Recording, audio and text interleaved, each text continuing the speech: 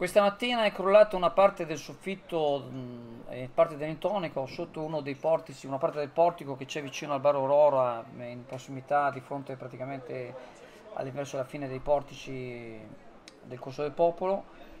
E non è la prima volta che si stacca qualche pezzo di calcinaccio, ma stavolta sono, effettivamente sono molto più estesi, non c'è stato a nostro avviso pericolo per nessuno però eh, è una situazione veramente non bella e sarebbe opportuno che l'amministrazione comunale ponesse gli strumenti affinché i proprietari del, del, delle rispettive porzioni di portici eh, facciano manutenzione perché purtroppo è un costo, ce, ce ne dispiace ma non è neanche possibile eh, una cosa del genere. Tra l'altro i portici sono spesso diciamo in condizioni mh, mm, non proprio bellissime